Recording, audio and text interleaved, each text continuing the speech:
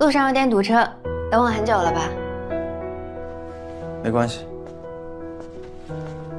你们节目决定谁来做你们的投资人？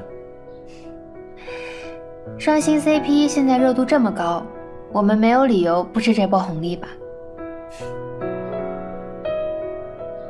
你真是一个特别专业的制片人，请坐。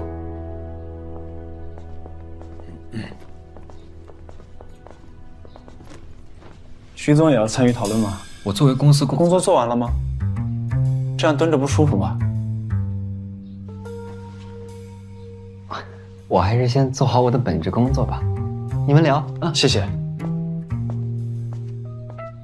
那我们开始吧。好。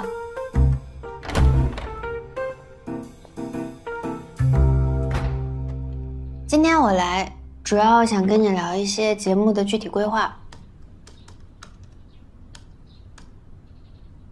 我还是很好奇，你为什么会选择我？其实很多事情，并不是它价格越高就代表它越好。于思那边我也接触了一下，但我发现，要跟他们建立信任感需要很长的时间，所以我还是想跟我熟悉的人一起工作。这么多年，不管我们两个是什么关系。我们都是彼此最信任的人，我不会辜负你对我的信任，也不会让你对我的投资打水漂。今天，我们就是彼此最信任的合作伙伴。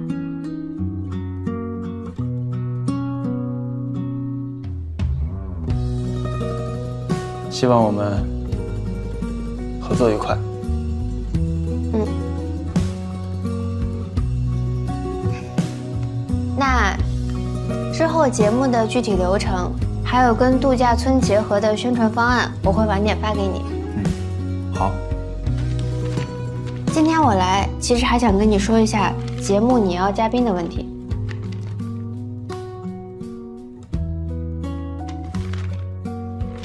这些嘉宾人选的范围还是挺广的，但是会不会有一点缺少话题性？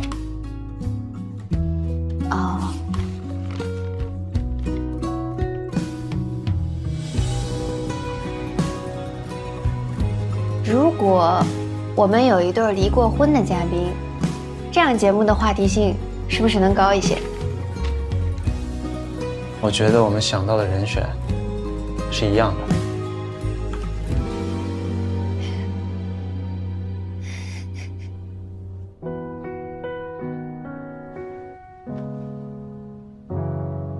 不是说我离婚了还能做朋友吗？怎么消息都不回？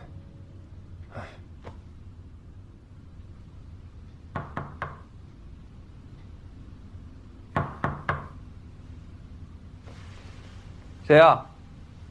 我。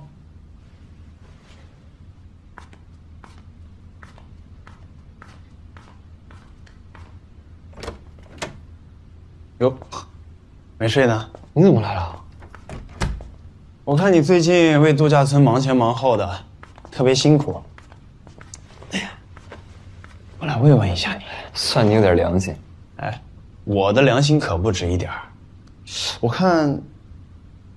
最近又出了很多新皮肤啊，对吧？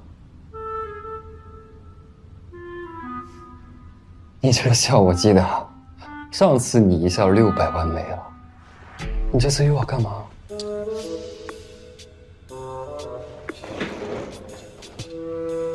你想不想参加《再见怦然心动》这个节目？邀请我参加？我跟谁啊？许承洲？啊？你不会还有别的前任吧？他那不算是前任，那是前夫。而且邀请我们俩参加，亏你想得出来啊！我才恢复单身几天呀，就要我重新进坟墓？不是，我不是这个意思。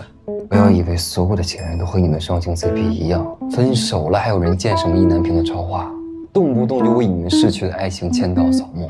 我和陈竹离婚，那就是铁骨铮铮断得一干二净了。现在让我主动回头，你觉得可能吗？我陈竹这点骨气还是有的。拜拜就拜拜，下一个更乖。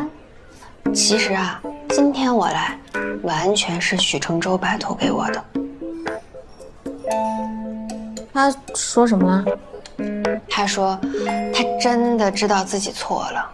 什么总耍大小姐脾气，总是跟你生气，分开之后他才明白，你对他有多么重要。继续说，还有别的吗？他还说，这个世界上除了你许承洲之外，根本没人受得了他。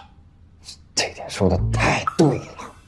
他还举手发誓，他说从今天开始，你就是他全世界最重要的事情，什么兄弟呀、游戏啊，通通都靠边儿。他还说他会永远爱你，至死不渝，就算你变成了台灯，他也会爱你。不过有一件事儿我不明白，台灯到底是什么意思啊？那天我下班回家，工作了一天，累得要死要活的。结果我发现他在那儿偷偷抹眼泪，我以为出什么大事儿了。结果这姐倒好，一直拉着我问我，如果他变成台灯，我还爱不爱他？女生的心思有多敏感、多脆弱，她难道不懂吗？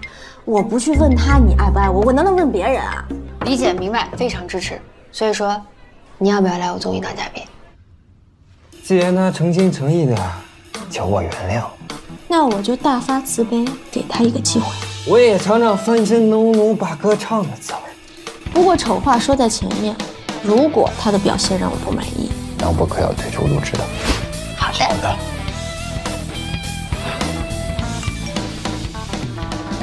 你就跟他说，就算他变成台灯，许承洲也爱他。搞定。OK。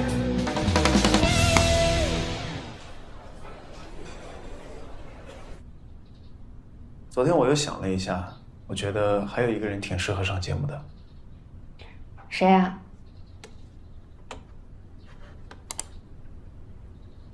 这个不是我们高中的班长何思月吗？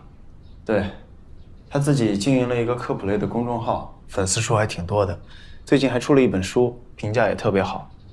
我们这些年一直都有联系，如果你觉得可以的话，我尽快约他时间。确实，他的职业跟我们几个可以拉开差距，刚好可以丰富一下嘉宾的类型，好像是比我那些备选要好很多啊。谢谢你啊，可以为嘉宾的事情这么上心。不是说好了要做彼此信任的合作伙伴吗？你们的节目尽快落定，对我们度假村也有好处。所以，你有什么要求就尽管提。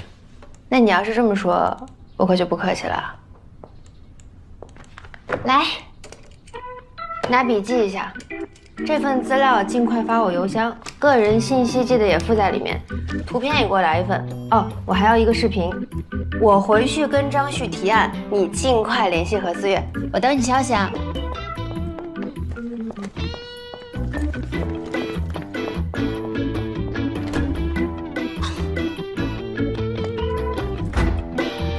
到底谁是谁的甲方啊？